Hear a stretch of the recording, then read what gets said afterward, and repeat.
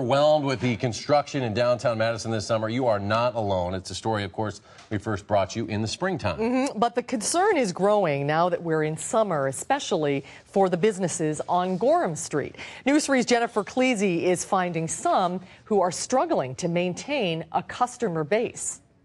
Through the whole summer, it's continued to be uh, a real problem. The impact of area construction could literally be felt under your feet.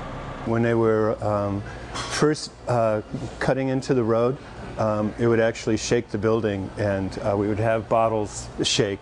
And it's been hard for businesses in the Gorham Street area like Riley's Wines of the World.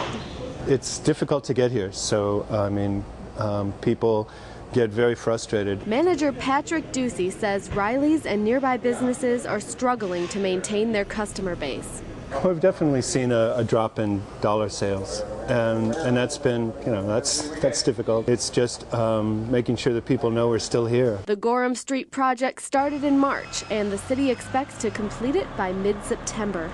The pavement on these streets were it was in horrendous shape, and uh, so that that required the project to you know to get moving. I would hope that you know perhaps this experience they can use and sort of maybe scale back things so that they don't damage businesses as much as possible. It looks kind of intense this year, but that was at a goal of, of hopefully not having to come back next year and, and do a lot more work. But Ducey remains frustrated and concerned. A customer said, it'll look so nice when it's done. I had to say to her, it's a street.